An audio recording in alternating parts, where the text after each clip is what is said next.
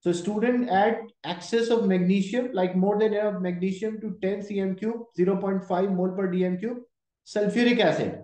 So sulfuric acid and magnesium are the reactant here. The hydrogen gas was collected every 10 seconds. So the original volume of the hydrogen gas which was collected represented by the dotted line. The experiment was repeated using a same mass of magnesium ribbon but now we use 5 cm cube of sulfuric acid. Like we reduce the amount of sulfuric acid and we add water. Water is not the reactant. Water will make it more dilute.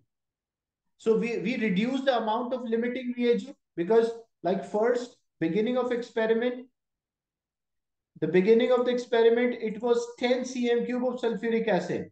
But now we have 5 cm cube of sulfuric acid. So if we reduce the amount of limiting factor, what will happen? The rate of the reaction will also decrease and the amount of the product will also decrease. Like this is more sulfuric acid, the first experiment, and now we have less particles of sulfuric acid.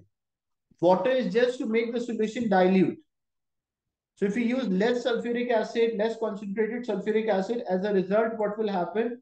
The reaction rate will decrease as well as the amount of product will also decrease. So if this was the original line, then the rate of the reaction should decrease as well as the final amount of the product should also decrease.